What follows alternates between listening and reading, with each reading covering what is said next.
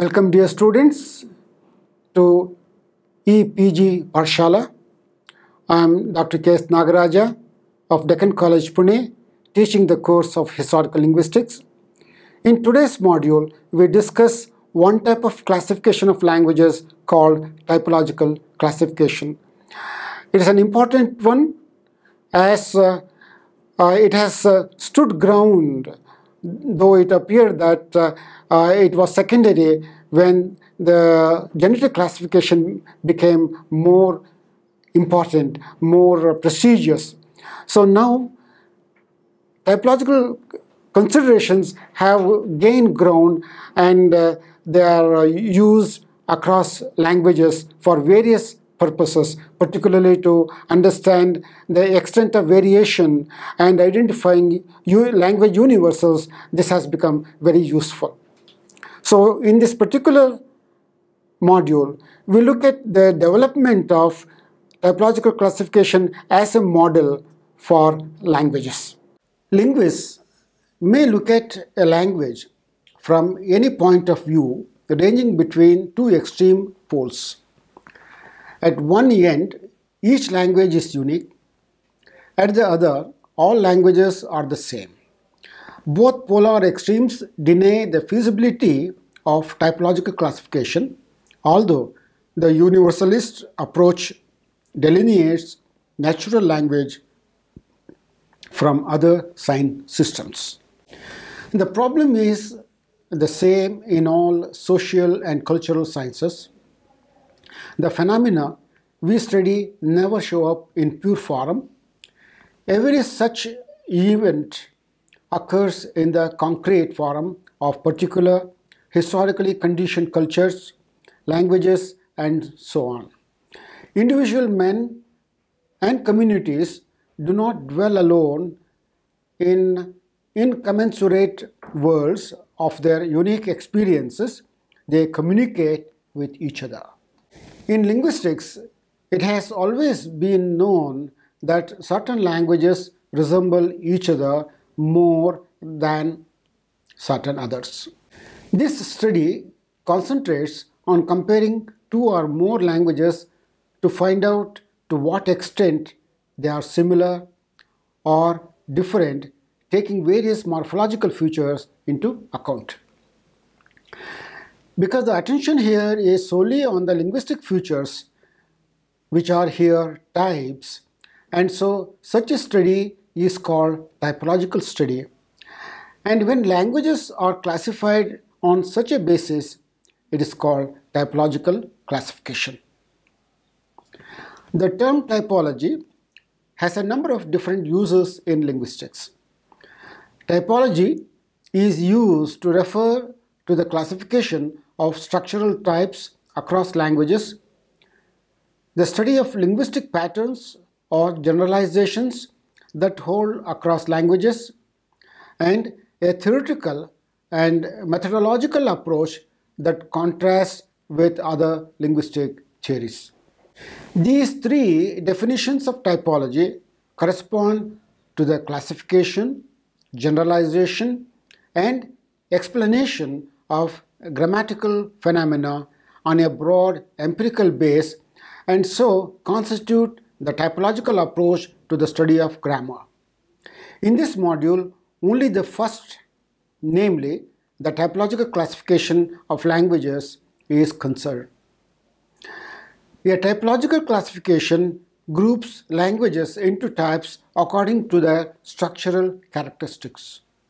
To the typologists of the early 19th century, especially Friedrich Schlegel and his brother August Wilhelm, but also to some extent to Wilhelm von Humboldt, who is credited with having launched this typological research program, the division of language types into the ones given below was linked to different stages of development of the languages and language families in question. The most famous typological classification, which was frequently invoked in the 19th century in support of an evolutionary theory of language development was proposed by August Wilhelm Schlegel's tripartite classification of morphological types of 1818 may be diagrammed as below. Uh, the tripartite uh, classification proposed by August Wilhelm Schlegel was the first, first one as it was in 1818. He thought that in a language, if every word has only one meaning as such, then such a language is a very simple one and there we have one-to-one correspondence. Such a language can be called isolative language. Chinese, Vietnamese are supposed to be of this type. However, if a word has more than one meaning or more than one meaningful forms in a word, then there are two possibilities. One, if the forms are not only intact but they maintain their identities, then it is called agglutination. That means uh, uh, various morphemes come together and uh, they, they, they occur in a word, they form a word, but e each morpheme has a function and it can be identified easily. So then it's called agglutination. Dravidian languages, uh, Turkish are supposed to be of this type. The third one, the third possibility where a word stands for more than one function or more than one meaning. Uh, that means uh, there is a modification involved there, then we call it inflectional language. That means there the correspondence is, uh, is not one to one, uh, one to many, one word having more than one function. In fact, there also there are two possibilities how, how far inflectional, whether it is very strong or in a way weak. If it is a very strong one, then it is called synthetic, like for instance, uh, Latin, Sanskrit, Greek belong to this type.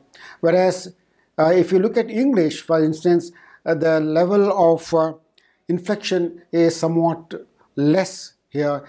Uh, scholars use a word analytic to refer to this kind of language.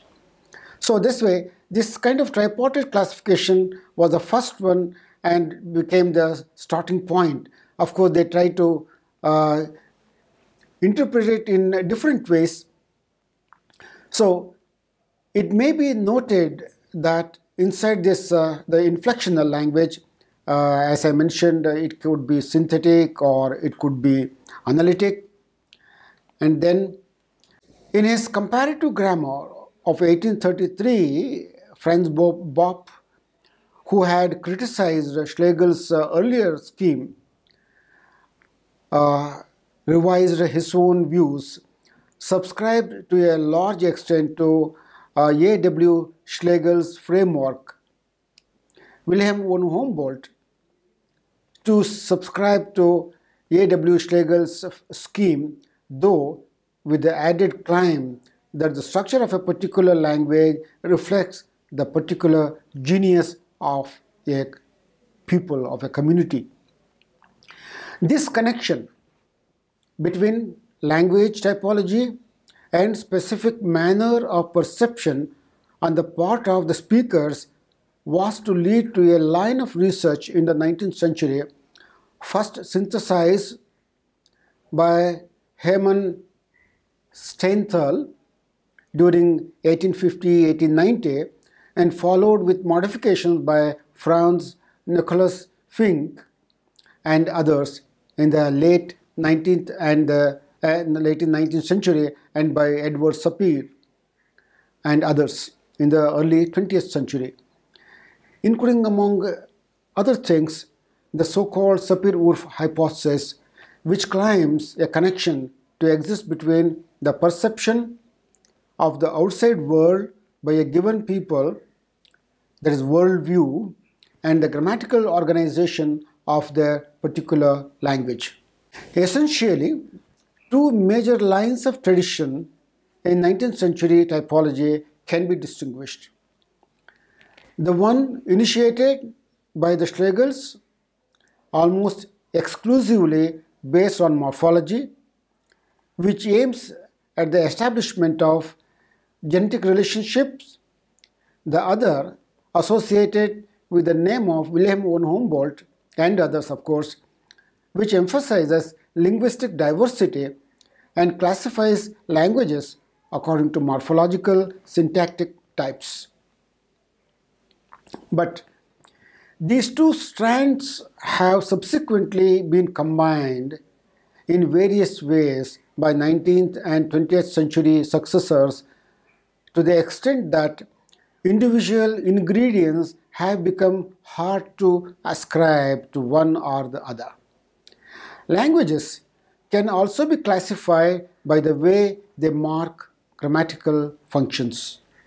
In isolating languages such as Chinese and even more strikingly Vietnamese, words are morphologically unanalyzable, that is, in which each linguistic unit that carries meaning, meaning word are composed of single morphemes, while in synthetic languages they can consist of several morphemes. English is mildly synthetic. It has inflections such as the plural suffix in books. That's why it is analytic, some scholars call, while languages such as Latin have many inflections.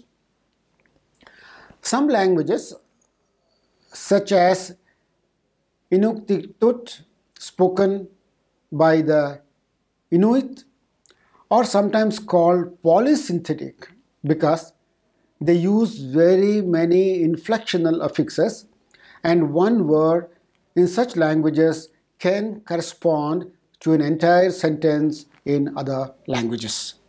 Synthetic languages can be divided into fusional and agglutinative languages.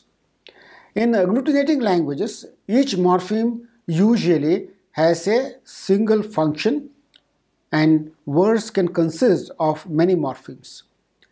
An agglutinative language, for example, Tamil, Kannada, Turkish, is one in which the word forms can be segmented into morphs, each of which represents a single grammatical category.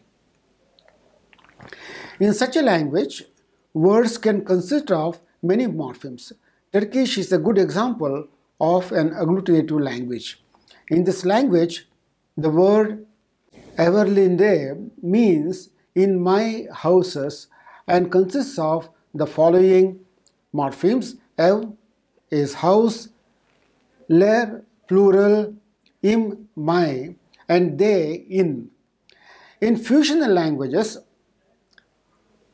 affixes can combine functions in the Spanish word hablo he spoke, O simultaneously indicates both the past tense and a third person singular subject.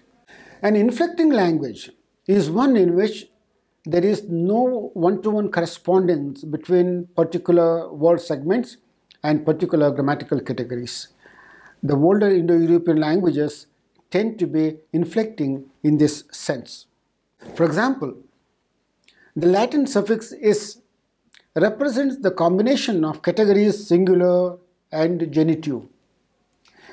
In the word forum, hominis of the man, but one part of the suffix cannot be assigned to singular and another to genitive, and is is only one of many suffixes that in different classes or declensions of words represent the combination of singular and genitive.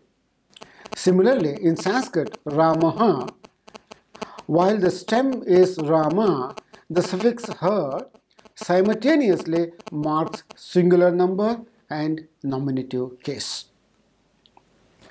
The Humboldt-Schlegel typology attempted in effect to classify languages simultaneously on not just one dimension but several. These dimensions are 1. the extent to which individual words carry an overt mark of the syntactic function as subject, modifier, etc., and conversely, the extent to which syntactic function is indicated solely by word order. B. The extent to which any overt marking of syntactic function is carried out by individual affixes related in one-to-one -one fashion to the functions in question. The extent to which overt marking of syntactic function is combined with the expression of more concrete or derivational meanings as for exam example in most Indo-European languages where any overt marker of case also marks number or with the expression of lexical meanings as in the English word forms our and us where no marker of possessive or non-subject function is separable from the expression of the lexical meaning of the lexeme V. The extent to which new word forms can be freely created by recursive compounding of lexical material. E. The extent to which nominal arguments of the verb or other nominal or adverbial elements which may or must be incorporated into the verb form. Some of these dimensions are logically connected. For example, dimensions B and C are irrelevant to any language which is at the isolating extreme on dimension A in having no overt marking of syntactic function and dimensions A, D are all irrelevant to a language at the maximally incorporating extreme on dimension E which would be a language in which the word and the sentence D and also on dimension B, C and D are logically independent. Yet, the fourfold Humboldtian classification singles out for special labeling just a few of the possible combinations of settings.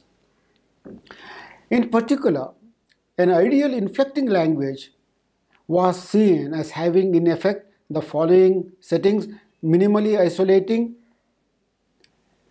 B minimal, C maximal, D low and E minimal. But what of a language such as Turkish which differs from this ideal principally in dimensions B and C? Turkish is rich in inflectional morphology in the sense that it makes much use of affixes to express syntactic functions, but is an agglutinating language rather than an inflecting one. This reflects the failure on the part of the 19th century typologists to distinguish clearly between dimension A, B and C. On the other hand, a propensity for compounding, that is, a high setting on dimension D, was generally regarded as characteristic of agglutinating languages despite the fact that it is not a salient feature of Turkish but is one of the most salient features of the archetypically inflecting language Sanskrit. An independent problem concerns the extent to which any one language can be located consistently at one point in any of these dimensions. For example, Latin nominal morphology approaches the inflecting ideal by rating low on dimension B and high on C, as shown, for example, in the dative plural form puellis to the girls where the suffix is is not segmentable into a plural part and a dative part contrast, for instance, Turkish uh, to the girls in which the plural suffix ler and the dative suffix a are clearly separable. On the other hand, many Latin verb forms rate high on dimension B because their affixal material is readily segmentable into individual affixes with individual meanings as in amantur they are loud where ant is the unique expression of third person plural in all Latin verb forms and ur transparently expresses passive. To this extent, therefore, Latin morphology appears agglutinating rather than inflectional. There are two more typologies, August Schleicher and Franz Finck, mentioned earlier also, need to be mentioned for their contributions in this area. Schleicher classified languages into 1. monosyllabic, 2. agglutinative, and 3. flexional on the basis of meaning and relation. He said that all languages could be classified by virtue of the manner in which sound is used to express these two concepts. The most complete typology based on grammatical semantic criteria is that of Finck. He assumed eight types, eight types, Turkish standing in one end and English in the other. The eight types are 1. Root isolating, for example Chinese, B. Stem isolating, for example Samoan or Malay, C. Root inflected, for example Arabic, D. Stem inflected, for example Greek, German, E. Group inflected, for example Georgian, Basque, F.